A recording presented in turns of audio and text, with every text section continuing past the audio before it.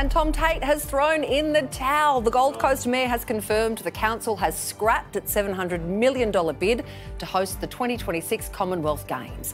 Victoria cancelled the Games in July, citing cost blowouts, but in the end, the Goldie couldn't get any financial support from either the Queensland or federal governments. My attitude is we did our best.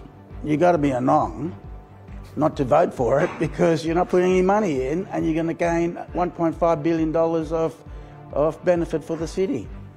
It was never going to get up, was oh. it, really? When you consider Brisbane's going to have the Olympic Games, I think the poor old Commonwealth Games are a very poor cousin. I was holding out hope. Now it means there's no chance beer pong will ever make the Olympics. This was our last chance to do it. For The, feel for the athletes. Yeah. You know, there are so few chances to actually show what you're made of on the world stage, and this would have been one of them. Plus, we always win all the gold medals. That's we why do, it's good to have. On the Gold mm. Coast. Yes. We can hey? still give ourselves gold medals. That'll be fine. We'll just hand them out. Let's get Tom Tate handing yeah, out gold medals. That's all he wanted to do anyway. You should check in on Tom Tate, by the I way. I do. I've yeah. sent him a text. We're close. We're good friends. Time for...